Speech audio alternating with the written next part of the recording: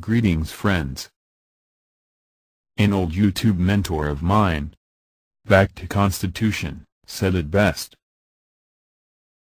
Choosing between these candidates is like choosing which poison you want to drink.